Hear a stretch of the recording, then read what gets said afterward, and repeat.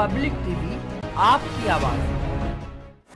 सोमवार को जिला अस्पताल में उस समय हड़कंप मच गया जब भाजपा के राज्यसभा सांसद और राष्ट्रीय प्रवक्ता ज़फ़र इस्लाम औचक निरीक्षण के लिए भाजपा जिला अध्यक्ष राजपाल चौहान के साथ जिला अस्पताल पहुँच गए।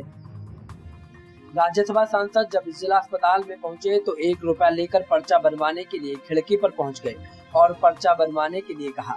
जिस पर पर्चा बनाने वाले स्वास्थ्य कर्मी ने कहा कि पहले खाना खा लूँ उसके बाद पर्चा बनाऊँगा। इस पर ज़फ़र इस्लाम ने कहा कि पर्चा किस समय तक बनता है? तो कर्मचारियों ने कहा कि पौने दो बजे तक। ज़फ़र इस्लाम ने कहा कि खाना तो लंच टाइम में खाते हैं इस समय खाना खाने क्यों चले गए? इस पर उन्होंने नाराज़गी जताई। दवाई लेने के लिए लाइन में खड़े लोगों से मिल रही दवाइयों की उपलब्धता भी जानी। मरीजों के द्वारा कई दवा बाहर से लिखी होने की भी जानकारी दी गई। साथ ही साथ इमरजेंसी में जाकर मरीजों का हालचाल जाना। सीएमएस से कहा कि एयर कंडीशन में बैठने की जगह अस्पताल में घूमकर मरीजों और तीमारदारों की समस्याओं का हल करें।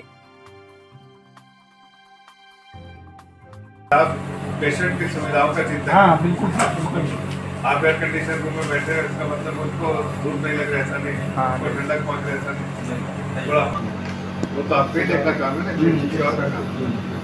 और उसको वो गर्मी में खड़े हैं तथा में न बैठने की जगह वो सुविधाएँ आपको देखने का पेशेंट का इलाज सही हो रहा है कि नहीं?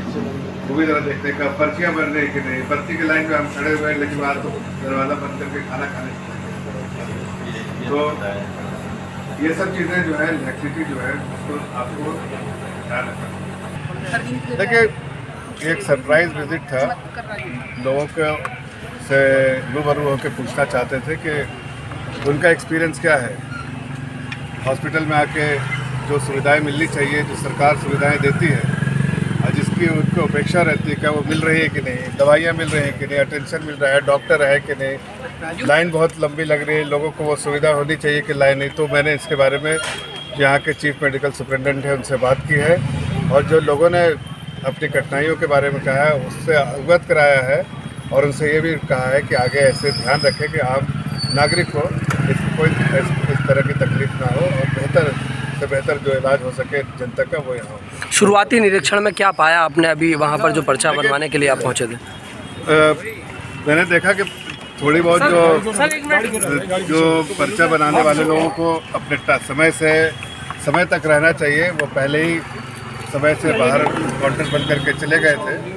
इसके बारे में भी मैंने अवगत मैं एक आम नागरिक की तरह उनको पर्चा बनवाने की कोशिश कर रहा था लेकिन वहाँ पर जो होना चाहिए वहाँ पर अधिकारी वो नहीं थे। इसलिए मैंने उसके बारे में भी सीएम साहब को अवगत कराया है और उनसे रिक्वेस्ट किया कि आगे ध्यान दिया जाए ताकि ऐसी असुविधा जनता को ना हो।